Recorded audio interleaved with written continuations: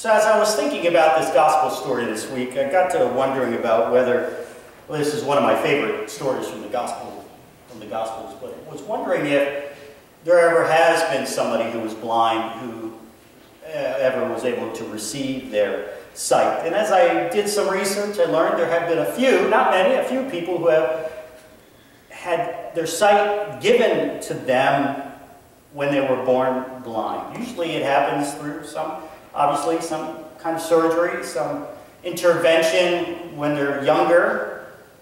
There was a woman in India, for example, who was born almost completely blind. She could uh, tell the difference between night and dark, night and day. That was about it. and um, she had surgery when she was 12. They were able to restore her eyesight in one eye to almost uh, full sight. Oh, so overnight, this woman was transported from darkness to light, literally this new experience of being able to see. And she's been able to maintain that sight for some 25 years. But her mother reported that she wasn't able to really distinguish things right away. She had trouble, her brain was having trouble processing that information. And that's normal, right? The, the brain, when it gets new information, new sensory information, it has to learn to make sense of it. So people who have their sight restored don't necessarily understand what it is that they're looking at immediately. For example, they may, you may give them a salt shaker and they may know, well, what it feels like. They know a salt shaker or what it smells like, but they don't necessarily know what it looks like. We even have a biblical witness to this in the Gospel of Mark, chapter 8, where a blind man is healed by Jesus and Jesus says, what do you see? And he says, well, I see people, but they look like trees walking. So they don't necessarily understand what it is that they see. But what a joyous occasion. What a miracle, this man, having received his sight. That raises a question for us to consider this morning. Do we always see things as they really are? Do we ever make mistakes? Do we ever confuse things? Do we ever misperceive what it is that we see. What's true I have come to observe in my life is that in the heat of the moment, and just ask three people who have witnessed an accident, people don't always see the same thing or perceive it the same way. Reminds me of a story. There was a, a husband and wife, Tom and Emily. Tom loved to go deer hunting. Hunting was his passion. His wife begged him for years to take her along, and he didn't want to because that was his, his sanctuary, his opportunity to be in the woods by himself. But finally, after years of her continuing to ask, Tom finally relents. He takes her to one of his favorite spots. He sets her up in an area where he knows there's a lot of deer, but also she's going to have clear vision if a deer comes upon. He walks maybe 400, 500 yards in the woods away. And he's there for about five minutes when he hears two shots coming from the direction of his wife. And he thinks to himself, oh no, if she gets a deer before me, I'll never hear the end of it. So he starts to slowly walk back towards the direction of his wife when he hears his wife shouting, get away from my deer.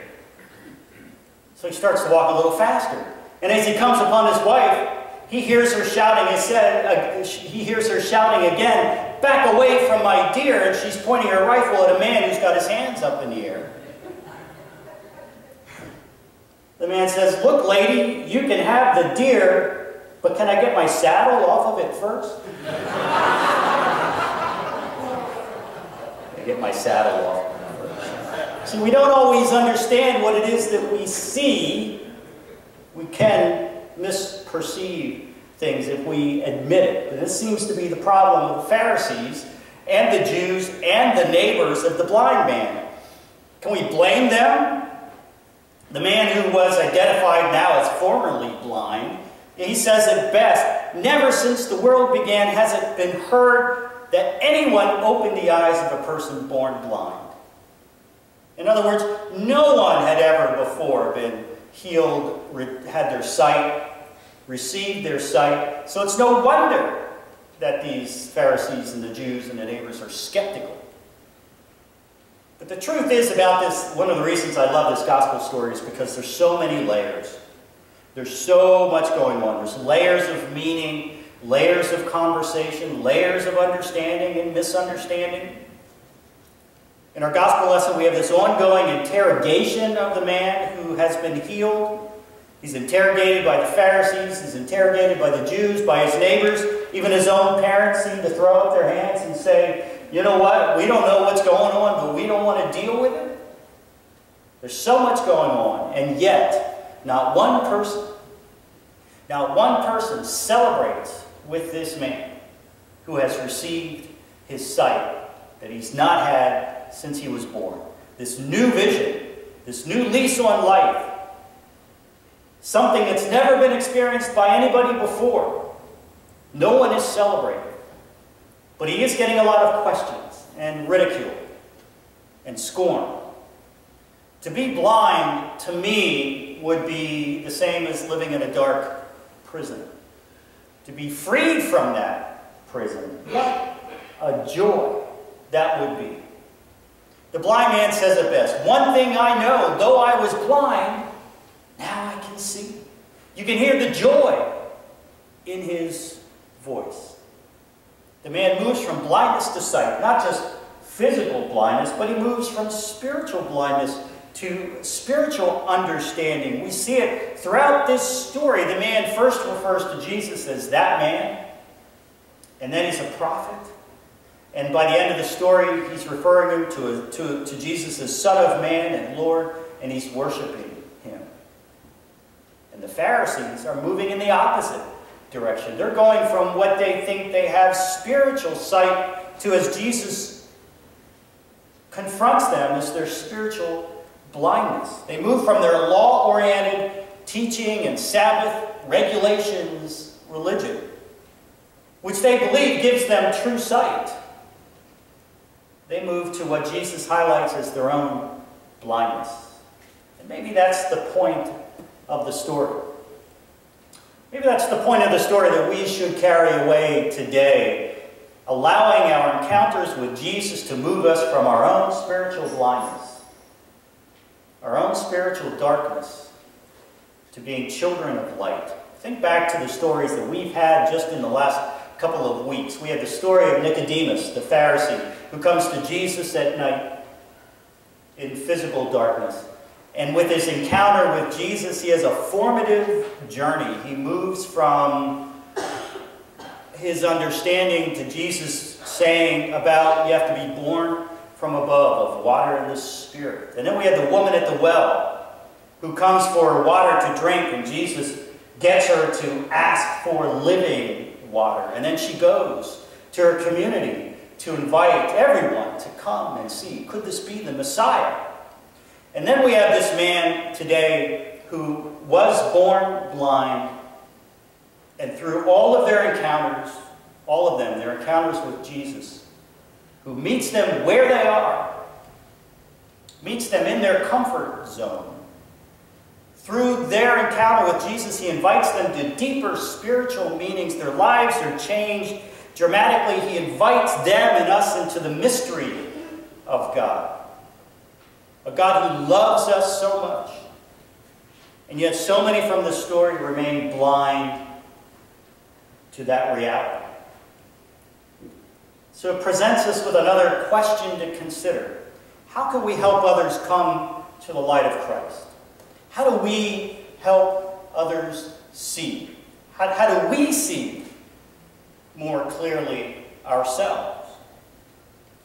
I would say that it begins with learning to reframe what it is that we see and how we see. This is, you see, what causes a stumbling block for the Pharisees. They cannot reframe what they see. Jesus is too human. He's too much a sinner to be the Messiah. The man born blind states that Jesus healed him. And rather than congratulate him, rather than celebrating with this miracle or thanking God, they get hung up on the fact that Jesus healed him. When? On the Sabbath. You see, Jesus had to make mud, and so he mixed his saliva, he said to the children. They believed saliva had healing properties. He had to mix his saliva with the dirt. And in doing so, he needed to mix it. He needed to knead it like kneading dough. And that was a violation of Sabbath rules, which to me just seems ridiculous. But that's my 21st century understanding. That's not a first century Jewish understanding. In their logic, Jesus is a sinner, and if he's a sinner, then he cannot be from God. It's a real conundrum for them. Could they reframe their vision? How their view of God and how God wants to work in the world, could they reframe their vision? Obviously not, because in the end, we know the end of the story. They'll put Jesus to death for sedition, for insurrection, for claiming to be the Messiah and threatening the good order of their religious teachings. He didn't fit their vision of how God works. And so Jesus said they were blind. Here's an exercise for us to do. I've given uh, the ushers something to hand out to you. I'm going to give them a minute. Ready, set, go. They're going to hand you a piece of paper. I want you to look at it. I want you to look at it, and I want you to think about what it is that you see. If you've seen this before, just keep your comments to yourself. I do have some for the, do you have some for the choir? I do have some for the choir here. Well, go ahead. Do you, do you need any more? Uh, let's see, what did Pastor Nate do with? If you've seen this before, ah, if you've seen this before, don't tell, don't tell. And anybody, now that you've seen it,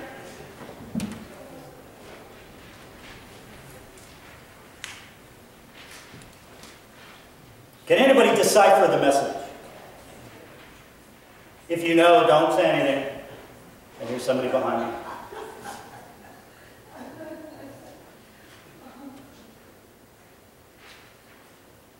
It's not Mr. Ducks. Right? Okay, you ready? Here we go. MR Ducks. MR not. OSAR.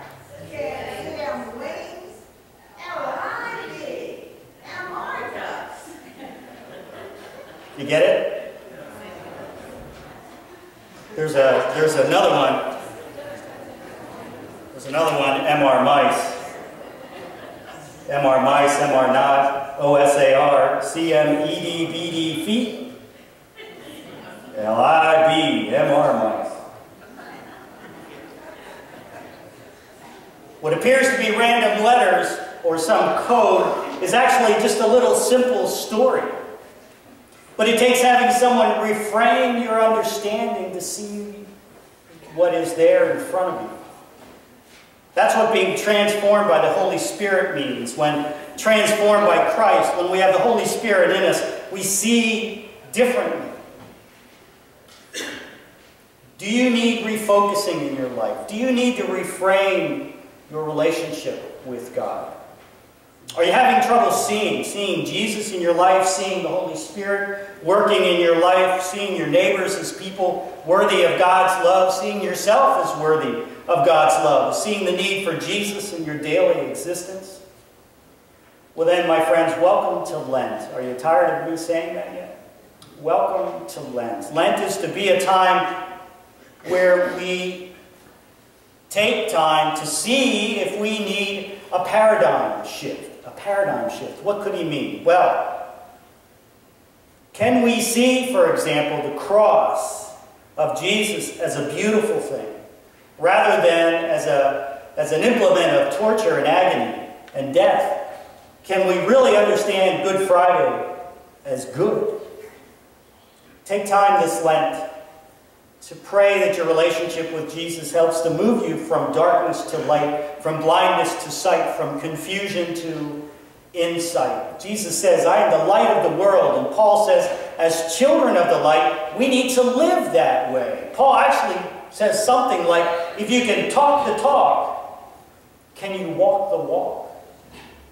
In other words, we should use Lent to come to a better understanding of what it means to live as Christ calls us to live, not in darkness, not in isolation, not looking to meet our own needs, but living in the light of goodness and righteousness and truth.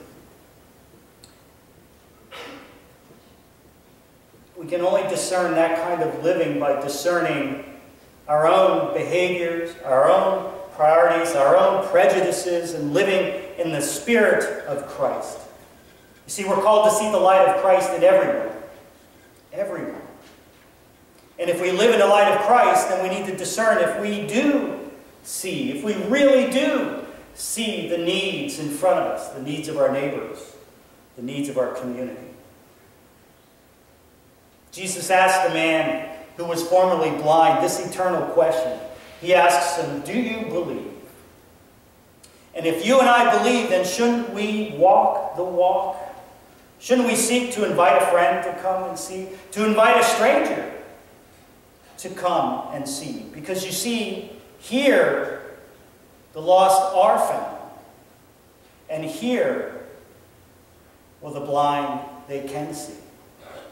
Amen? Amen.